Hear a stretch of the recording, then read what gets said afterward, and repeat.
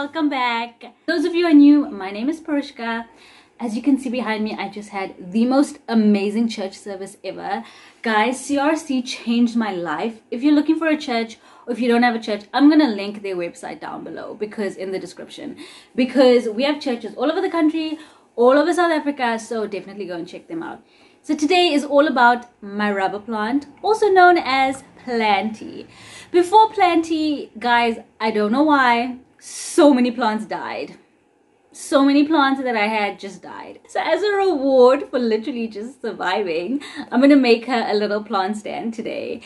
I started off making two structures that look like this. My wood was 22 by 40 millimeters and my measurements were as follows. The vertical pieces were 540 millimeters, the long horizontal piece was 320 and the short pieces were 140 millimeters. Then I made the exact same structure but that horizontal piece was just switched the other way around so that they could fit together to form the stand. I heard a saying that said measure twice and cut once when it comes to woodworking, and this is definitely the case. Rather take your time, measure properly, make sure everything is right before you cut so you don't have to go in and fix your mistakes. I actually did end up doing this, messed it all up, and had to just cut another piece for one of the horizontal pieces. After my pieces were cut, I started off with the horizontal pieces and I just sanded them down really nicely. Then I took the smaller pieces and I attached them to the bigger piece using a drill, making some pilot holes and some screws. So I don't know if it's my Dremel, but when I drilled through both pieces of wood, it started to smoke really badly. So I just drilled through one piece until I could just see a mark on the other side and then I made my pilot holes in the second piece of wood and just screwed them together.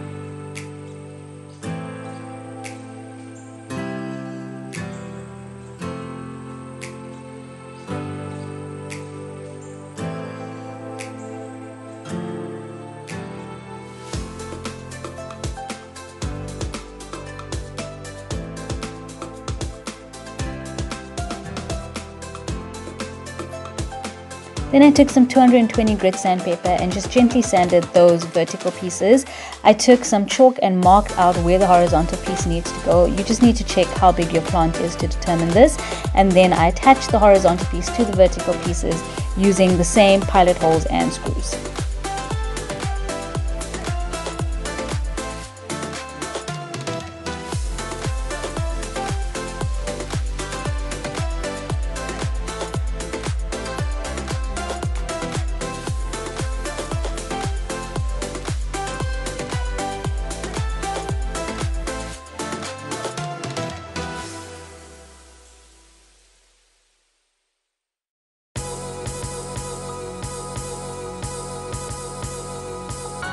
I ended up with a structure that looks like this. Yes, I know there's a huge gap on that left hand side. Don't worry, I did go in and fix it.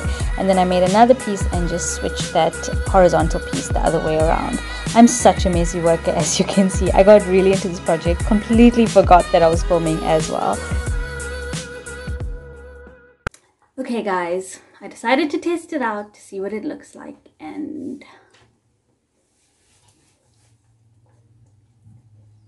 It's so big.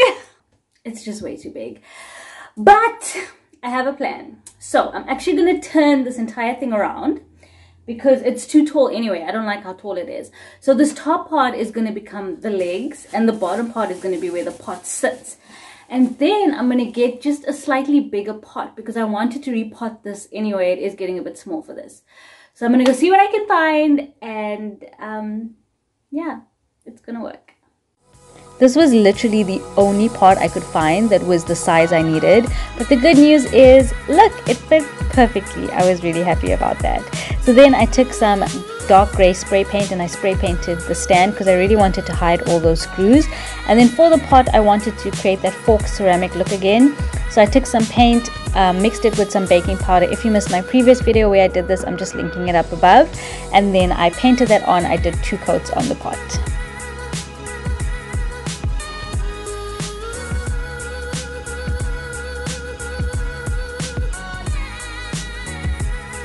After doing all of that, I decided I actually really didn't like this color, so I painted the whole thing gray.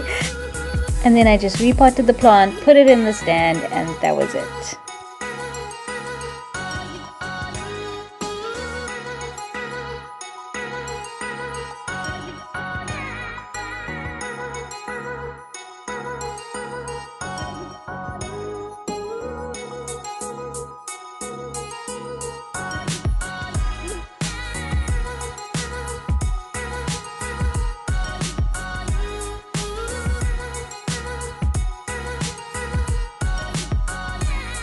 Thanks so much for watching everyone. Don't forget to hit that subscribe button for more videos like this. I'll see you next time.